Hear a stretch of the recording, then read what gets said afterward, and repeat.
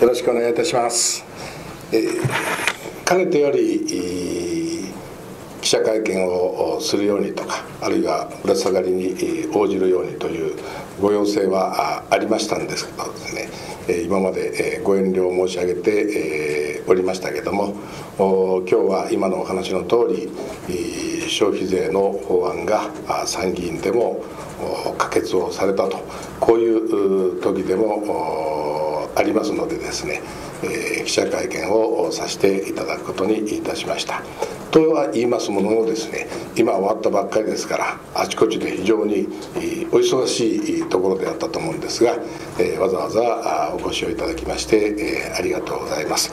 ではあの早速ですけども始めさせていただきます、え、参議院でですね、え消費税法案が可決をされて、え一応国会においてはですね、え消費税のこの増税法案が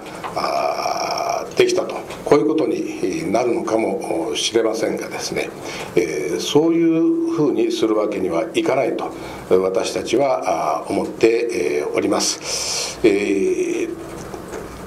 国民の皆様のですね、え、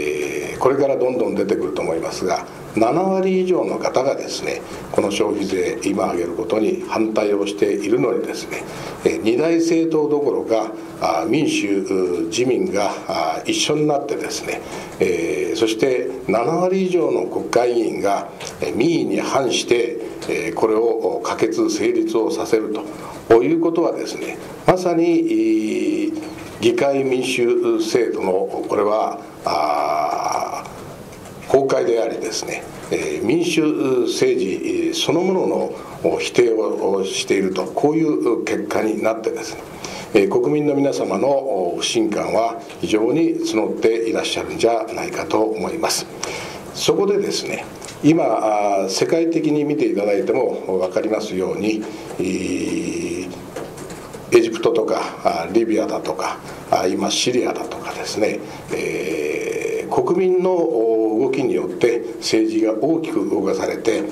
大統領がこの失脚をしたりあるいは新しい大統領がこの誕生をしたりですね